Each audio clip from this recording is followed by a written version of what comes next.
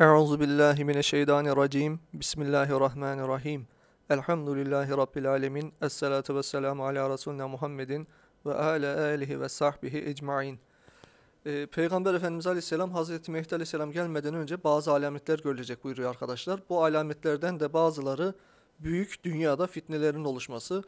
Ee, daha önceki hadis-i şeriflerde de belirttiğimiz gibi Peygamber Efendimiz Aleyhisselam e, Birinci Dünya Harbi'nden bahsediyor. İkinci Dünya Harbi'nden ve en son büyük Dünya Harbi olacak. Ondan sonra Dünya Harbi yok kıyamete kadar. Önümüzde beklediğimiz Üçüncü Dünya Harbi dediğimiz harp olacak. E, bu harbe kadar yaşanacak bazı fitnelerden haber veriyor. Biz ne demiştik daha önceki hadis-i şeriflerde? E, bu Mehdi Aleyhisselam zamanının başlangıcının ilk fitneleri, savaş fitneleri küçük bir beldeden sebep çıkacak buyurdu Efendimiz Aleyhisselam. O Saddam'ın Kuveyt'te yaptığı savaş arkadaşlar. O savaşla bütün kapılar Mehdi Aleyhisselam'ın e, zamanda görülecek fitnelerin kapıları açılmış oldu. Zaten o saatten sonra da bildiğiniz gibi olaylar durmadı. Hemen arkasından o 91 yıllarında oldu. 92 yılında Saraybosna Sırp olayları oldu. E, Sovyetler Birliği dağıldı biliyorsunuz. Sovyetler Birliği dağıldıktan sonra e, 2000'li yıllarda Irak işgali, e, Orta Doğu'da Müslümanlara yapılan sıkıntılar, Doğu Türkistan'da Çin'in yaptığı sıkıntılar, Müslümanlar büyük sıkıntılar içinde, büyük fitneler içinde özellikle Kuveyt Savaşı'ndan sonra 90'lı yıllardan sonra bu olaylar fitneler göründü. Efendimiz Aleyhisselam'ın aynen haber verdiği gibi Mehdi Aleyhisselam öncesinde yaşanıyor.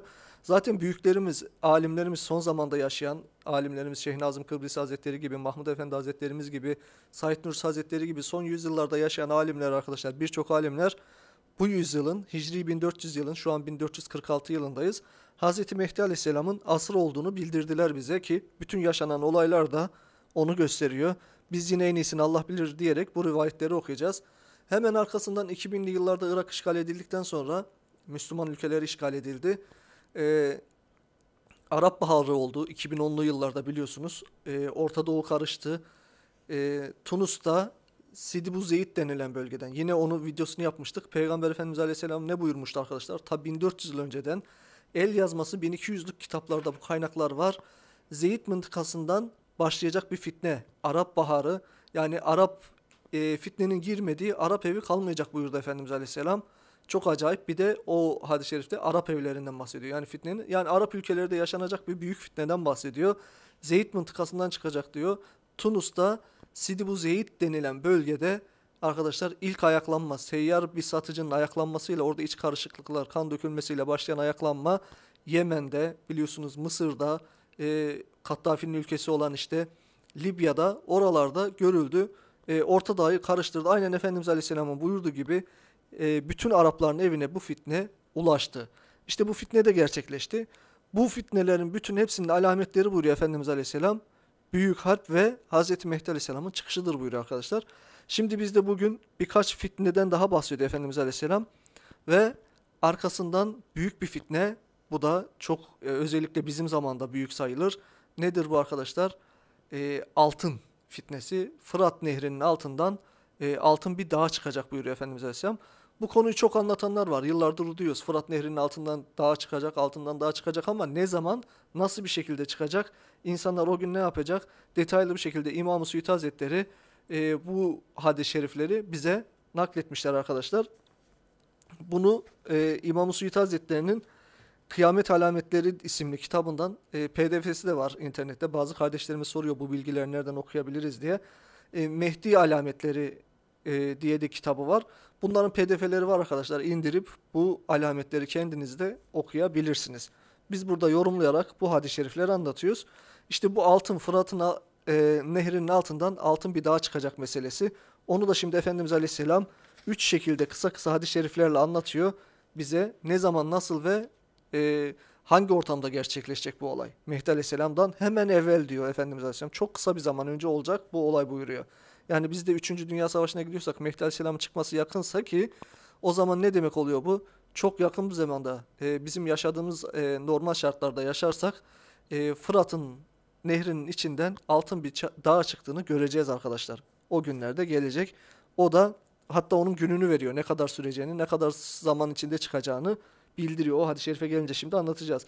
Öncelikle bu bahsettiği Efendimiz Aleyhisselam yine fitnelerle ilgili İmam-ı Suyuti Hazretleri'nin naklettiği hadis-i şerifleri okuyalım. Tebareni'den e, Evsat'ta Talha bin Ubeydullah'tan e, rivayet ediliyor. Peygamber Efendimiz Aleyhisselam şöyle buyurdu.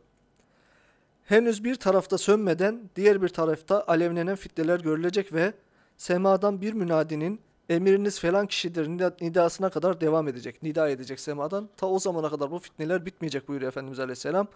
İşte arkadaşlar dediğimiz gibi kuvvet savaşı fitnesiyle açıldı kapı. Sürekli fitneler devam ediyor. Her gün de artarak çoğalıyor. Bugün İsrail'in Filistin'de görüyorsunuz yaşanan fitne. Orası bitmeden Lübnan'a saldırıyor. Lübnan bitmeden şimdi Yemen'e saldırdı. Yemen onlara saldıracak. İran arasında bu Orta Doğu kaynıyor yani. Bütün hadis-i şeriflerde bildirilen olaylar bugün yaşanıyor. Fitne her geçen gün çoğalarak devam ediyor. İşte buyuruyor Efendimiz Aleyhisselam. Gökyüzünden bir münadi diyor arkadaşlar. Bir hadis-i şerifte de sadece bir hadis-i şerifte genelde hepsinde münadi diye bahsediliyor. O da zayıf ama o da münadi olabilir. Birisi melek diye yorumlamış da olabilir. Ramazan ayında Cibril Aleyhisselam'ın sesiyle de işitileceği rivayeti var. Onun dışında birçok yerde bir münadiden bahsediliyor. Bu münadi en iyisini Allah bilir ama gökyüzünden ulaşan bir hadis-i şerif vardı. İnsanlar o ele bakıp dururlar. O münadiye o ele bakarlar gökyüzünden. Televizyonları, telefonları, internet ortamını yani sinyalleri, e, iletişimi anlatıyor Peygamber Efendimiz Aleyhisselam 1400 yıl önceden arkadaşlar. İşte aynen bunun gibi bir münadi gökyüzünden seslenecek demekten mana en iyisini Allah bilir ama bir insan yani güvenilir insanların itibar ettiği bir hoca mıdır, bir lider midir birisi çıkıp der ki bakın bu adam böyle böyle burada bu faaliyetleri yapıyor. Bu kişi beklediğimiz Mehdi Aleyhisselam'dır. Bütün alametler onda tutuyor dediği anda e, insanlar ona yönlenir. Ki neden böyle düşünüyoruz? Dediğimiz gibi en iyisini Allah bilir ama bir melek seslense Mehdi Aleyhisselam'ı kabul etmeyecek birçok insan inanmayacak ona. Melek seslenmiş olsa görünmeyen bir varlık seslenmiş olsa gökyüzünden bütün dünyada duyulsa yani bırakın Müslümanları Müslümanların hepsi iman eder. Ee, inançsız insanlardan bile %90'ı iman eder arkadaşlar. Yani dünyanın bütün dünyanın inanan ve inanamayan herkes iman eder. Başka bir hadis-i şerifte devamında Nuaym bin Hammad İshak bin Yahya'dan o da annesinden rivayet etti. Annesinden duymuş İshak bin Yahya. Hazreti Zübeyir radıyallahu anh öldürüldüğünde biliyorsunuz Cemel vakasında bir fitne çıktı. Hazreti Ali e, öldürmek istemedi. Hazreti Zübeyir'i bırakınca o da savaştan çekildi. Giderken arkasından gitti birisi Zübeyir radıyallahu anh'ı şehit etti.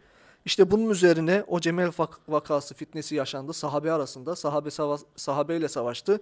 Tabi iki tarafın niyeti de Allah rızası için bir anlaşmazlık oldu. İki kardeş arasında bile anlaşmazlık olabiliyor. İşte Peygamber Efendimiz Aleyhisselam vefatından sonra ilk başlayan fitnelerden birisi de bu arkadaşlar. E, Zübeyir öldürüldüğünde bu fitnenin bizi helak edeceğini söylediğimde anneme diyor. Anneme öyle dedim. Zübeyir öldürüldü bu fitne bizi helak edecek anne dedim diyor. O da hayır ey oğlum dedi. Bundan sonra öyle bir fitne var ki insanlar onda helak olur İşler bir münadinin semadan felanca emirinizdir ona uyun demesine kadar devam eder. Yani Mehdi Aleyhisselam'a kadar devam edecek büyük bir fitne sahabe arasındaki fitneden daha büyüktür diyor arkadaşlar. Çok ilginç bir hadis-i şerif bu bakın dikkat edin. Cemel vakasındaki fitne tarihteki Müslümanlar arasındaki en büyük fitne olarak biliniyor değil mi? Bakın burada ne diyor? Oğlum diyor bu fitneden daha büyük bir fitne var diyor. Helak edecekse insanları o helak eder diyor annesi. Yani bizim zamanda ben dedim ya size e, Mehdi Aleyhisselam ya İsa Aleyhisselam Deccal öldürecek diyorlar işte. E, ondan önce bazı olaylar olacak. Müslümanlar birilerinin cezasını verecek. Mehdi Aleyhisselam girdiği zaman kimi öldürecek diye soruyorlar. Mehdi Aleyhisselam arkadaşlar münafıklar Müslümanım diyenlerle savaşacak. İşte aynen böyle büyük bir fitne görülecek. Yani yere batırılan ordular, Mehdi Aleyhisselam'a saldıran ordular hep Müslümanım diyen insanlardan çıkıyor hadis-i şeriflerde. Dikkat edin yüz binlerce Müslümanım diyen insan yerin dibine batırıyor allah Teala. Allah muhafaza çok karışık bir zaman Cemel vakasından daha büyük bir fitne geliyor arkadaşlar. İşte bu videoları yapıyoruz. allah Teala hepimizin yardımcısı olsun o gün. Allah şaşırtmasın diyelim. Yine Tabarani Af bin Malik'ten tahriş etti. Peygamber Efendimiz Aleyhisselam buyurdu ki Tozlu dumanlı karanlık bir fitne görünecek. Bunu diğerleri takip edecek. Ta ki ehli beytimden kendisine Mehdi denilen bir zat çıkıncaya kadar şayet ona yetişirsen ona tabi ol ve hidayet erenlerden ol. İbni Ebi Şeybe Ebi Celt'den tahriş etti. O da dedi ki bir fitne görülür. Bunu diğer fitneler takip eder ve birinciler sonuncuların silahla çatışmaya dönüşmesini kamçılar. Yani ilk fitneler e, şu an yaşanan fitneler, ilk fitneleri yaşıyoruz şu anda. Daha sonra bunu silahlı çatışmaya dönüştürecek ülkeler arasında bu fitneler sebep olacak. İşte bugün yaşanan olaylar arkadaşlar e, büyük melhamenin sebebi olacak buyuruluyor. Sonra da hilafet yeryüzünün en hayırlısı olan Mehdi'ye evinde otururken gelir diyor. Siz diyeceksiniz ki şimdi hani Mekke'ye gidiyordu Mehdi Aleyhisselam Mekke'de geliyor. Arkadaşlar allah Teala onu bir gecede ıslah eder evinde. Ee, bazı kendisinin tövbesi mi var? allah Teala'nın ona ilham edeceği bazı meselelerin var. Bunu kimse bilemiyor, açıklayamıyor. Dediğimiz gibi evinde ona bir gecede allah Teala onu ıslah eder diye rivayetler var. Ee, zaten kendisi kabul etmiyor Mehdiliğini ki ona zorla Mehdisin diyorlar. İşte bu Mehdiliği ona evinde gelirken sen Mehdisin diyerek gelmeyecek de Mehdilik haline hazır bir hale getirilecek bir gecede tam bu fitnelerin arkasından buyruluyor. Naim bin Hammad sahih bir senetle Müslüm'den rivayet etti. Ee, Müslüm'de de geçiyor.